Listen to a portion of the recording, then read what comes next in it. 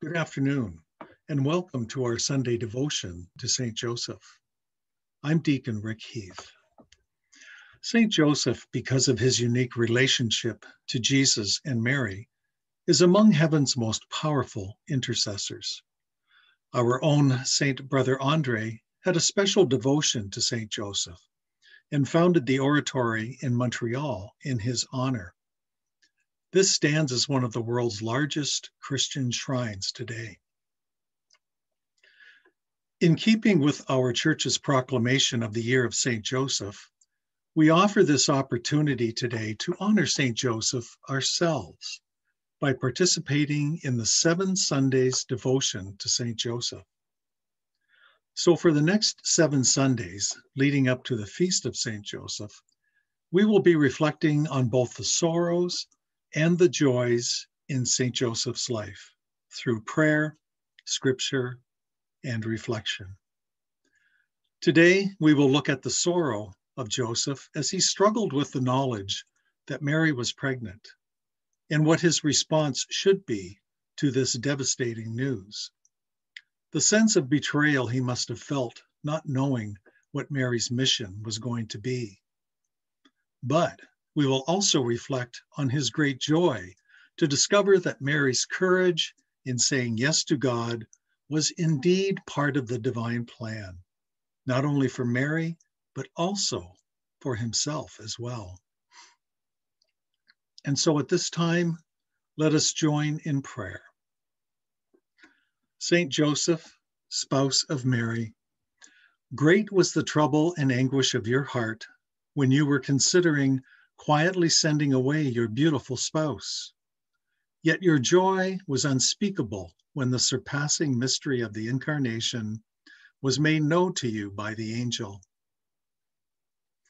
By this sorrow and this joy, we beseech you to comfort our souls, both now and in the sorrows of our final hour, with the joy of a good life and a holy death, after the pattern of your own life and death in the arms of Jesus and Mary.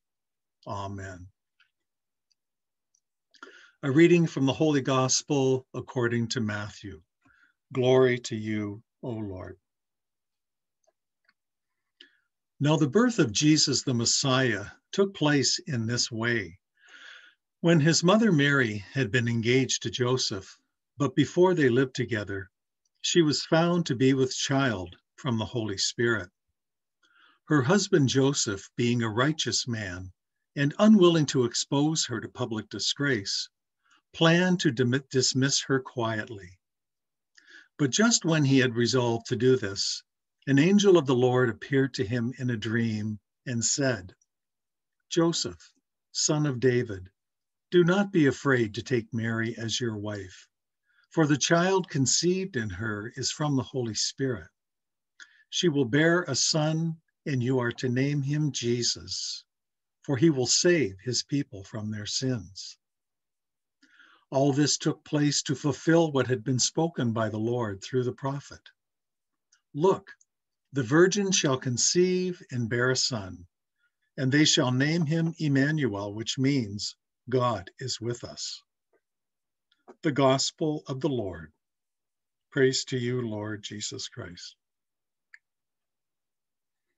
And so, in the course of that pilgrimage of faith that was his life, Joseph, like Mary, remained faithful to God's call. While Mary spoke her assent to the angel at her annunciation, at the moment of Joseph's own annunciation, he said nothing. Instead, he simply did as the angel of the Lord commanded him. This good and honorable man, who loved his wife Mary and the child Jesus, was bound to them with a lifelong love and commitment that would certainly have helped to shape the life of Jesus, his son. And so, in our need, we humbly ask Joseph to pray for us. Dear Saint Joseph, pray for us that we will faithfully imitate you in our daily lives. Pray for us that we will act with unselfish love to those around us. Pray for us that we seek the will of God as you often did throughout your life. And pray for us that we will faithfully accept our mission that God has given us and take it upon our shoulders as you did so eloquently in your life. Amen. Thank you so much for joining me this evening. And please join us next week for the second Sunday of our devotion to St. Joseph.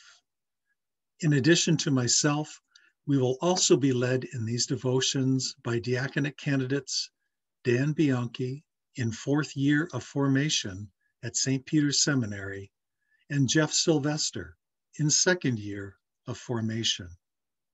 Until that, until then, good night and God bless.